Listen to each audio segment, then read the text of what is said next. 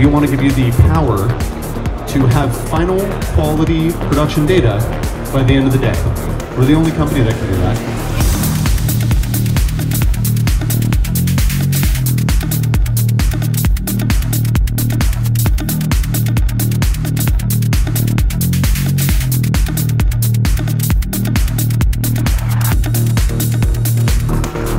easier, simpler, faster.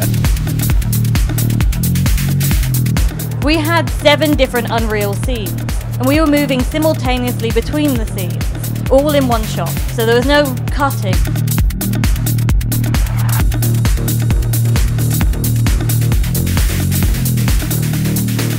In real time, we have a fully solving 3D character that was set up within just a few seconds. You can literally kind of walk into a volume and start mocap straight away. The body just happened. That's just like natural for Vicon. They can just solve the body perfectly. There's really no other way to put it.